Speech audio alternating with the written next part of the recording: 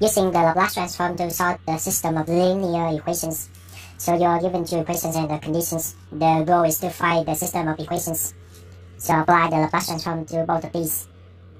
I have for this one 2s capital X of s minus 2 x of 0 plus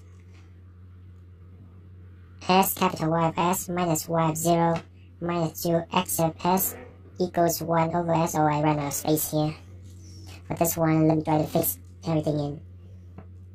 For this one, I have s capital X of s minus x of 0 plus y of 0 minus y, uh, y of s minus y of 0 minus 3 capital X of s minus 3 capital Y of s equal to over s.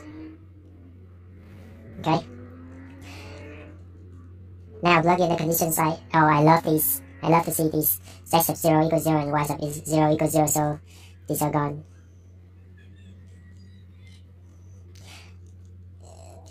This one, this one, factor out. Factor capital X of s. Now I have 2s minus 2 in parentheses equals 1 over s. Uh, this one minus s capital Y of s. Now down here factor out capital S of S, I have S minus 3 equals 2 over S minus Y of S.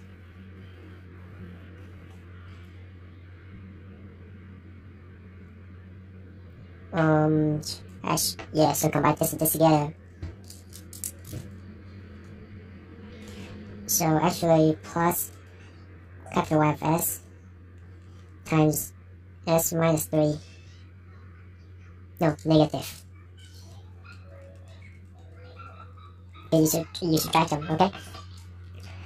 Now, divide both sides by this for the first equation. I ha and I also factor out the 2. So I have 1 over 2s s minus 1 minus capital Y of s over s minus 1, okay? For the second equation, we are going to do the same thing. Factor, divide both sides by s minus 3.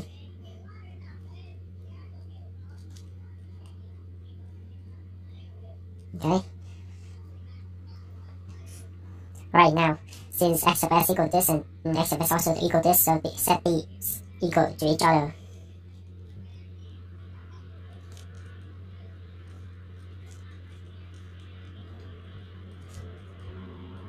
Right, now move capital Y best to one side and factor down. So I'm going to move this to, to this side. So I have 1 minus 1 over s minus 1. Equal this, move this to the side. Then multiply by s minus 1 on both sides to get rid of the denominator, uh, to get rid of the fraction here.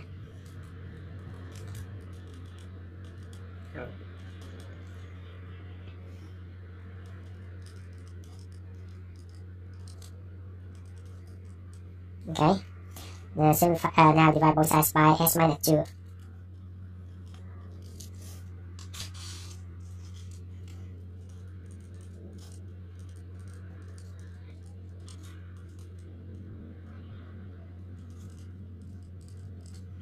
Okay. Alright, we are almost done. Uh, so we just uh, we're almost halfway through. Oh, no, no, no, no. Uh, let me go back. I went really fast and I missed something. Stop here. So when I take the when I took the Laplace transform, when I applied the derivative theorem for this one, I have s capital F of s minus x of zero plus s capital Y of s. Okay, I need to slow it down. Ah. Okay, let's see. Oh yes, still got this right. okay, capital uh, factor out capital Y of s and S minus 3. Okay. Still, we're still good.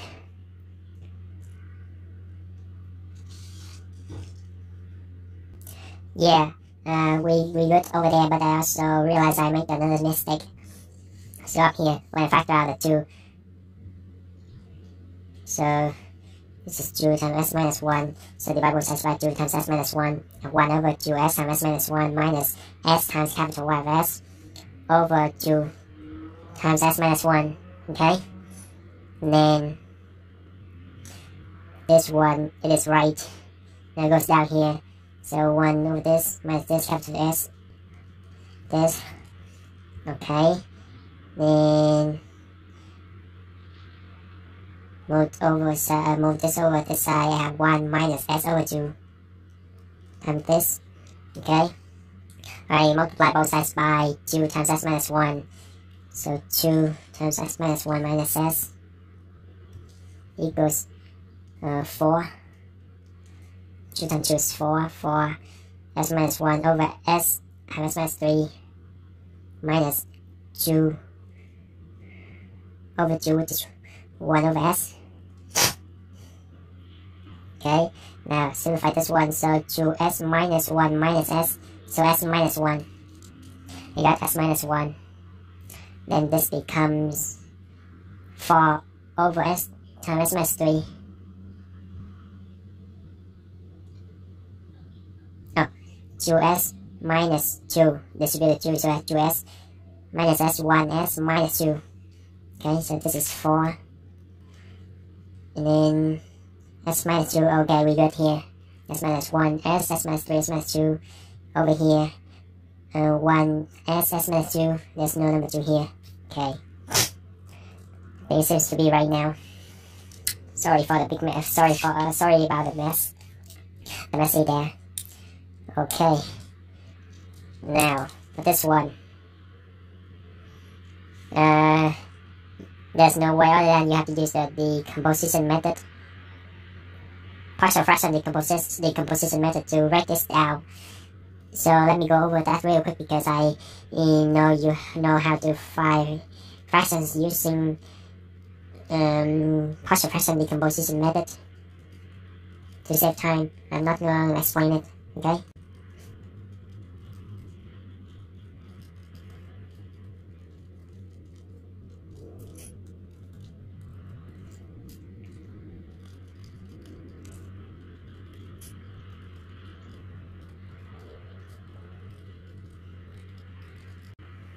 Alright, so these are values for A, B, and C. Let's it into here. So let me do it down here. So that becomes negative 2 third over s plus 8 third over s minus 3 plus negative 2 over s minus 2. Now for this one, you may think of uh, using partial fraction decomposition like what we did for this one. Well, you could use that method, but I noticed that I can use a shortcut here. So if you haven't had a chance to watch the video that I made about finding partial fraction in less than 30 seconds, I'll put a link in the upper right corner here so you can go to check that video out. So using that method, I will have something over s plus something over s minus 2. And as you notice, they are off by 2, so I'm going to have 1 half on top. Uh, the bigger, the next step is to determine which one had the negative side. So as I see in the bigger denominator will carry the negative side, which means this one has a negative side. If you're not sure, you can double check by cross multiplying. Negative 1 half plus 1 half has 0. Negative 1 half times 2, which is positive 1. Okay, we good. So this is uh, fractions of this. Right, and don't forget to distribute the negative outside. So I have positive 1 half over s minus 1 half over s minus 2. Okay? Now combine like terms. So negative 2 thirds plus 1 half. Mm, I have uh, negative 1 6 times 1 over s. Okay, this one. This one. So negative 2 minus 1 half gives me 5 half. Negative 5 over two. That's 2 and it just rewrote this, okay? Now it's time to take the, the inverse on both sides. So this gives me negative 1 6 plus 8 over 3 8 to the 3t minus 5 over 2 e to the 2t. So this is your answer for y of t. And we're not done yet. So we have to go back here. So let's call this is equation 1 this is equation 2. So, um, uh, so we know y of uh, s. Now we need to find x of s. So I'm going to use equation 2, okay? So, equation 2 I have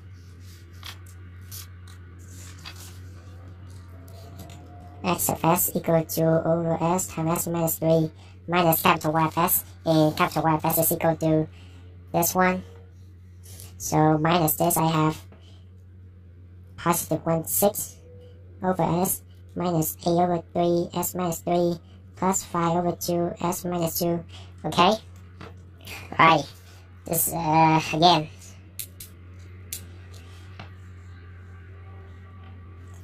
You see this one? So again you see using the circuit like we did for this one right? So this is a equal to 2 times something over s uh, plus something over s minus 3 they are off by 3 so I have one third on top. And this one is the bigger denominator so this has the negative side. Okay so negative one third s positive s 0 negative one third times negative 3 positive 1 times 2 2 okay we good. Alright. Now combine like terms so this and this. So negative 2 third plus 1 6 let me see negative 2 third plus 1 6 I have I have mm, negative 1 half of s, right? Negative 2, uh, positive 2 third minus uh, 8 third, so negative 6 3, negative 2 over s minus 3, then rewrite that. Right, so this is very easy, right? You can take the inverse and apply the area inverse on both sides, and that gives you negative 1 half minus 2e to the 3t plus 5 over 2e to the 2t, right? Super easy, right, at this point. So this is your y of t and this is your x of t. That's it. If you find the video is helpful, feel free to give it a like, share, and subscribe to my channel in order to receive the most current videos. Don't forget to hit the bell so that you won't miss anything. I'll see you next time.